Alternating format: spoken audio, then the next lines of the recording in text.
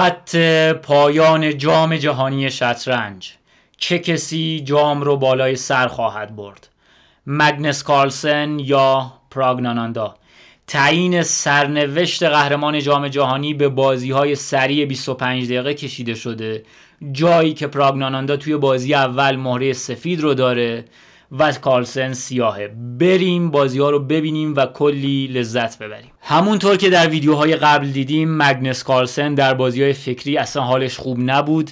به دلیل مسمومیت غذایی مریض شده بود و خیلی حال حوصله بازی کردن رو نداشت. هر دو بازی رو خیلی سریع به مساوی کشوند تا کار به بازی سریع برسه یکم ریکاوری بشه و خب می‌دونید کارلسن تبهرش هم توی بازی سریع و بلیتس و اینها خیلی بیشتره و تخصص بیشتری رو داره.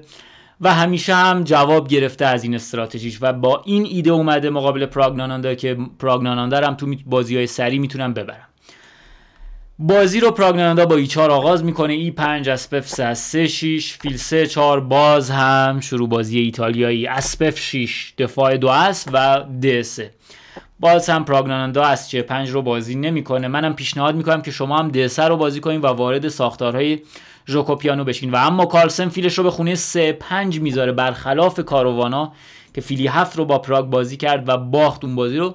کارلسن فیل 3 5 رو بازی می‌کنه برمیگرده به ساختارهای ژوکوپیانو و اینجا سیا... سفید آچار رو بازی می‌کنه. این فیلش رو دوست داره.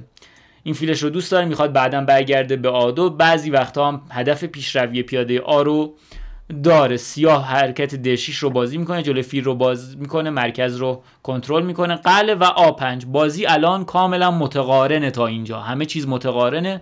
خیلی توی ایتالیا این اتفاق میفته و اینجا فیلیسه. معمولا پراگناندا شاخهای ساده رو انتخاب می‌کنه و وارد جنگ های تئوریک خیلی شدید نمیشه. و این حرکت خب برای سفید یه برتری جزئی رو به همراه داره. ستون اف بازه.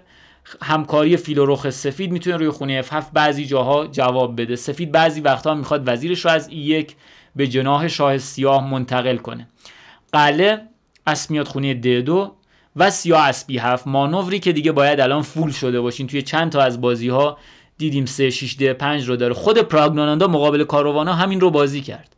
همین رو بازی کرد. 3 6 D 5 رو بازی کرد و بازی هم برد فکر کنم از کاروانا حالا یا مساوی شد یا برد یادم نیست. ولی خب پراگناندا صعود کرد دیگه. اسب 4 می‌خواد به خونه F5 بیاد در آینده. وزیر می‌تونه حالا از F3 هم بیاد از E1 J3 هم می‌تونه وارد حمله بشه. 3 6 هدف D5 توی مرکز.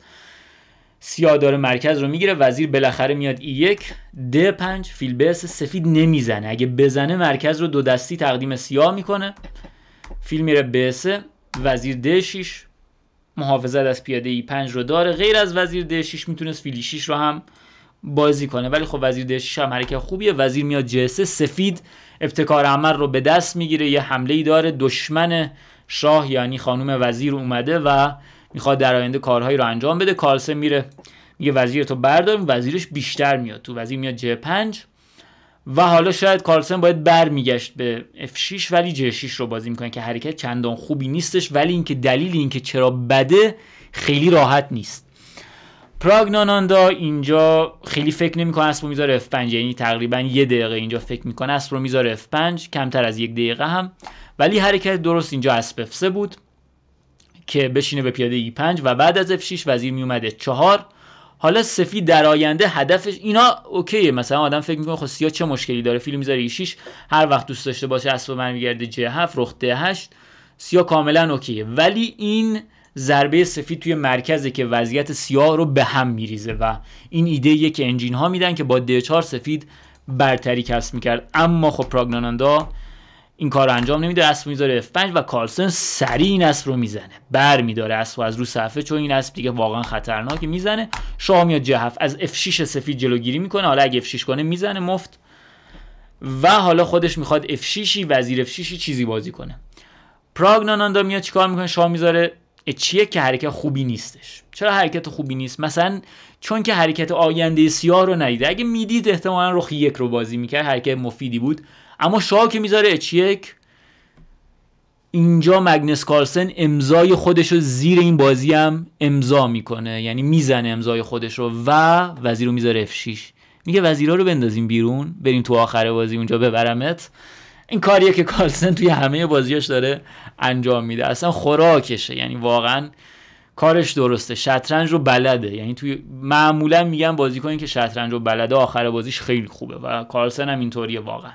و چجوری این آخر بازیش انقدر قوی شده؟ همه آخر بازی ها رو مطالعه کرده بازی خیلی زیادی رو مطالعه کرده و خودش نشسته سر اون بازی ها فکر کرده و حرکت حد زده. کلا مطالعه آخر بازیش خیلی زیاد بوده. بازی های کاپابلانکای کبیر رو خیلی مطالعه کرده خودش بهش اشاره کرده بود و بازی های بازیکنان دیگه. مجبوره که بزنه اگه بکشه عقب می‌زنه اف 5 و سیاه دو تا اسب نیرومند خواهد داشت. پس باید بزنه. حالا دیگه رفت اونجا. اف در جشیش اچ در جشیش تعویض رو به مرکز. ای چهار.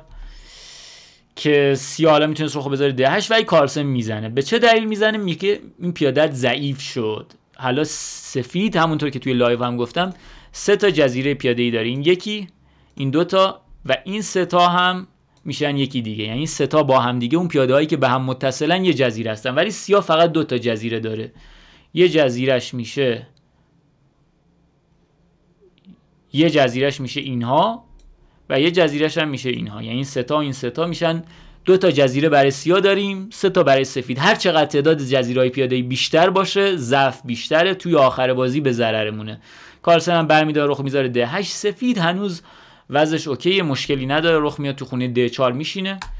رخ f 1 میشینه به اسب f 6 اسب ج 8 حرکت بسیار مهم و حیاتی. اینجا کارسن می‌تونست ای 4 رو بزنه بره برای مساوی. چون وقتی f 7 رو می‌زنه می‌زنه می‌زنه.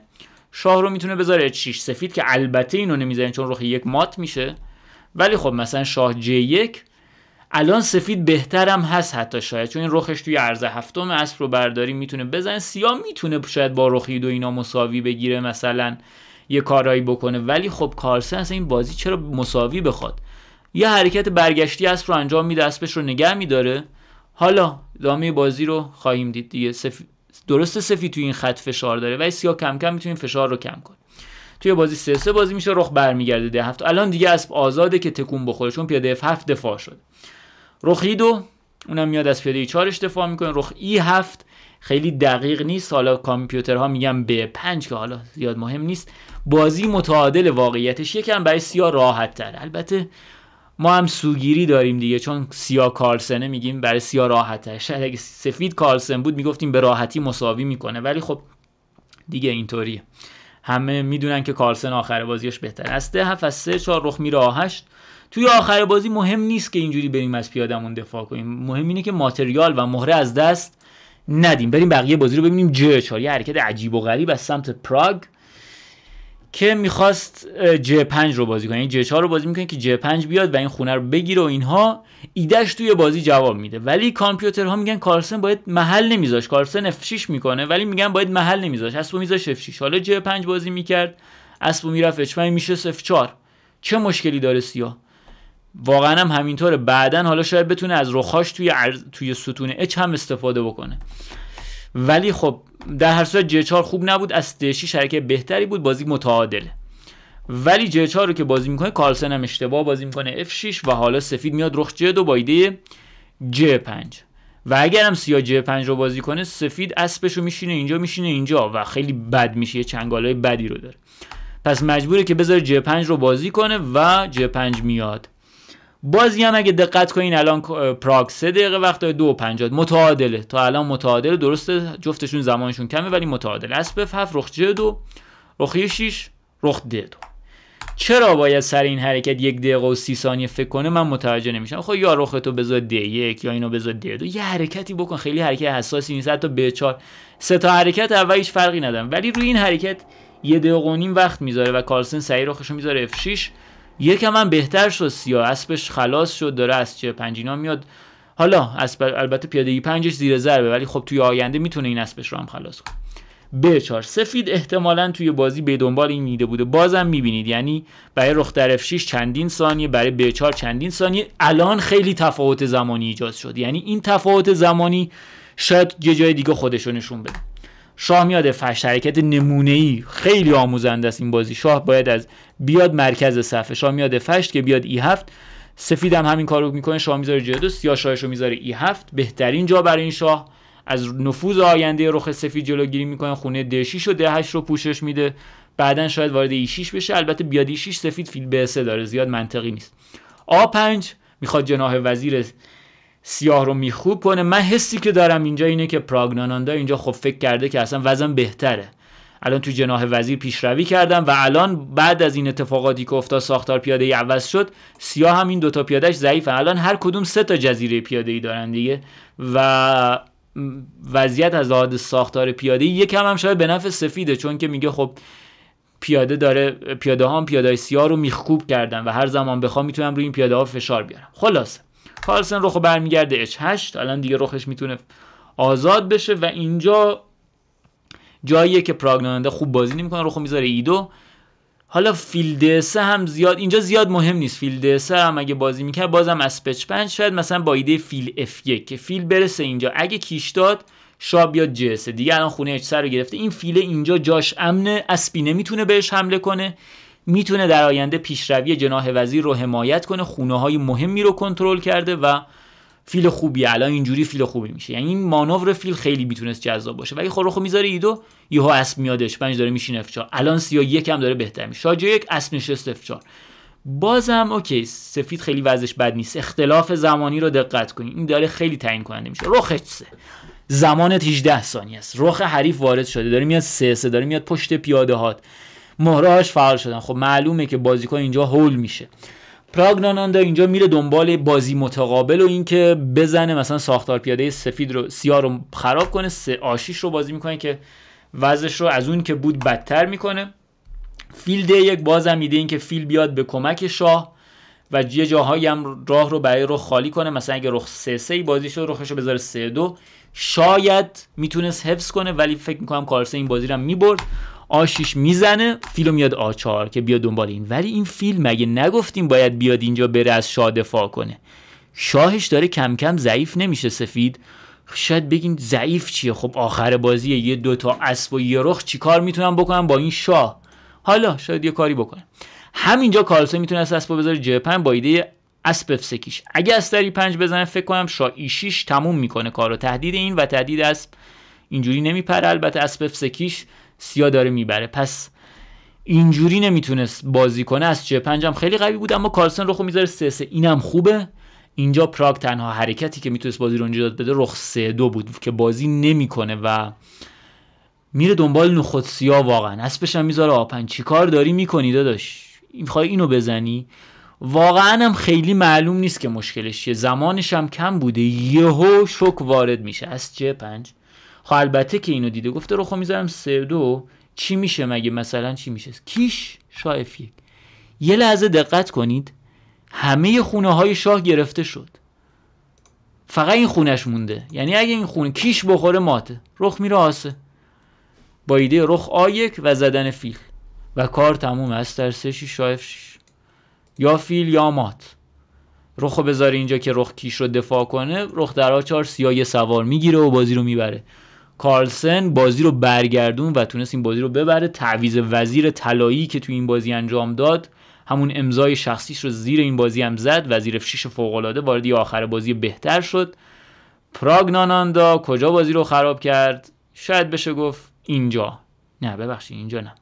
شاید بشه گفت گفت گفت گفت اینجا که فیلش رو نذاشت دسه بره. F1 یا نذاشت ده یکی از خونهای سفید رنگ دفاع کنه. رفت آشیش و اینا رو بازی کرد. فیلو اسبش رو گذاشت این ور و کارلسن توی جناح شاه ماتش کرد. این از بازی اول. باید ببینیم توی بازی دوم پراگ بر میگرده بازی دوم کارلسن سفیده و فقط یه مساوی می‌خواد. بازی رو با حرکت ای 4 آغاز می‌کنه و سیا با 3 5 جواب میده. دفاع سیسیلی. با این دفاع میشه برای برد جنگید. وقتی که به برد نیاز داریم و پراگ هم همین کار رو می‌کنه.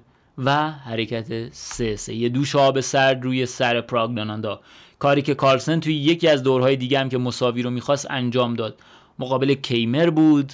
مقابل نمی‌دونم کدوم یکی از بازیکنان بود. این کار رو انجام داد. وارد سیسیلی سه سه. شاخه آلاپین شد که شاخه بسیار محکمیه. سفید تعادل رو نگه میداره و اگر سیاه اشتباه هم بکنه سفید می‌تونه برای برد بزنه. اسبف 6 ای 5 اسب میشینه د 5 و اسبف 3 سفید د 4 رو هم بازی می‌کنه مرکز رو می‌گیره 3 در د 4 فیل 3 4 یه حرکت بینابینی به اسب میشین اسب 6 فیل ب 3 سفید یه پیاده اینجا قربانی میده اگه سیاه بزنه می‌زنه و مثلا الان سفید ابتکار عمل خیلی زیادی رو داره. این پیاده توی ای 5 مهره های سیاه رو خیلی دچار مشکل کرده. اگر هم این 6 کنه است میاد ای 4 تهدید فیل ج 5 الان می‌خواد قلب بره فیل ج 5 از 6 کیش. سفید جبران خیلی خوبی رو در ازای این پیاده داره و این فیل سیاه رو هم نگاه کنید این فیلش هم نگاه کنید وضعش خوب نیست سیاه. و اما توی بازی پراگناناندا بعد فیل بسه پیاده رو نمی‌زنه. د6 رو بازی می‌کنه و ای در د6 وزیر در د6 سفید باز هم پیاده رو قربانی میده. اگه بزنه سفید می‌تونه از در سه اینا بزنه و این نیرومندتر از اینها از چه؟ 5 داره میشینه به پیاده F7 و کار سیاه زاره اگه D1 رو بزنیم که با کیش می‌زنیم اینم با کیش می‌زنیم می‌بریم. اگر هم مثلا E6 چیزی بازی کنه وزیر میشینه H5 G6 وزیر میشینه F3 همه اینها روی F7 F5 هم بازی کنه حالا از در 3 سیاه می‌تونه چند حرکت دیگه تسلیم بشه. این بازی دیگه داره میاد. همه چی داره میاد. همه چی. همه چی داره میاد و کی اینها رو دفاع کنه. واقعا روی بازی اصلا نمیشه. پس یه قربانی پیاده زیبای دیگه. البته که پراگناندا قبول نمی‌کنه. فیلشو می‌ذاره F5 و دقت کنید همه اینها از طرف کارلسن تدارکه و پراگناندا هم تقریبا سپرایز شده. چون وقتش پایین اومده. مقابل کارلسن سیاه داشته باشی بخوای ببری توی بازی که برد لازم باشی من ندیدم تا حالا. سال 2016 کاریاکین همینجوری باخت. بازی اول رو سفید داشت. کارلسن سیاه بود. کارلسن برد. بازی دوم رو که کاریاکین سیاه بود بازم سیسیلی زد. کارلسن حتی برد اون بازی رو از کاریاکین سال 2018 با کاروانا همین اتفاق افتاد. با آناندم توی بازیاشون همین اتفاق افتاد و خیلی سخت با سفید بتونه امتیاز بده کارلسن به کسی. از سه سفید الان یه پیاده ضعیف پیاده ایزوله وزیر رو داره. اگه سیاه بتونه وضعیت رو جمع جور کنه فیلش رو بذاره یه هفت قله بره یه رخ بذاره ده هشت یه رخ بذاره سه هشت وضعش بهتره. مهره هم بتونه ساده کنه. ولی این وضعیت یکم فرق داره. فرق اساسیش اینه که سفید می‌تونه به زودی د 5 رو بازی کنه و همه چیز رو به نفع خودش تغییر بده. فیلی هفت. همینجا هم می‌تونه د 5 رو بازی کنه. دو تا بازی هم بازی شده که د 5 بازی شده و مساوی شده ولی کارلسن میره دنبال شاخه بهتر حتی. وزیر رو می‌ذاره F3 روی پیاده به هفته حالا سیاه اصلا نباید این پیاده رو دفاع کنه. اصلا رخ به 8 که نداره. فیل F4 همینجا بازی رو تموم می‌کنه. ولی در هر صورت سفید تهدید د 5 هم داره که دیگه نمی‌تونه بزنه چون فیلشو می‌گیره. الان قله میره کارلسن نمیره اینو بزنه. نمیره دنبال کیسه بازی و ضعیف بازی کنه. ده پنج رو بازی می‌کنه.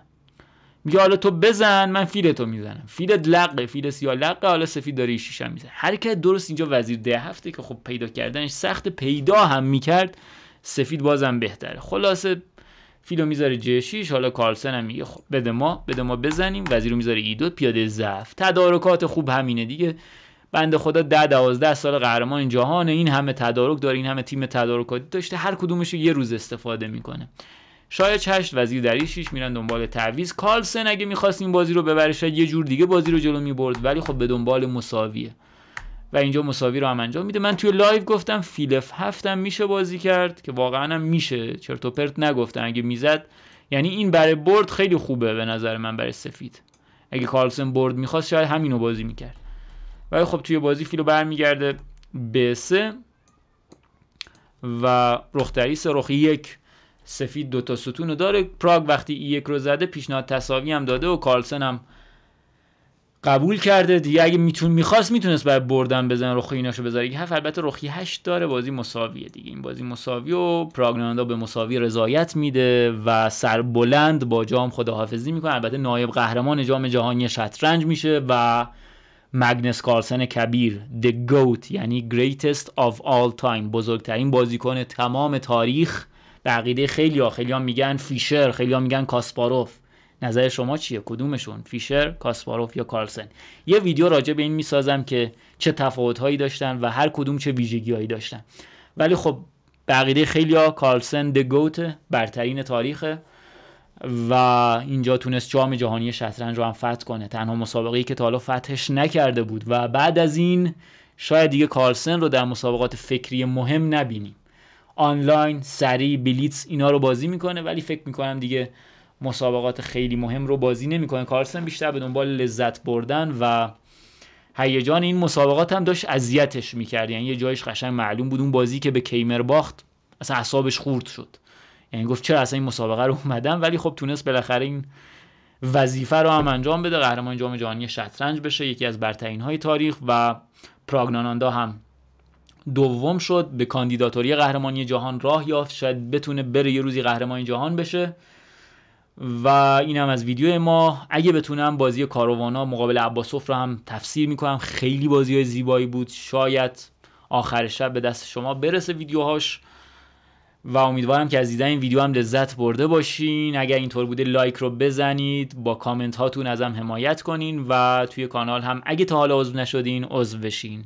خیلی مخلصیم. روز و روزگار خوبی رو داشته باشین.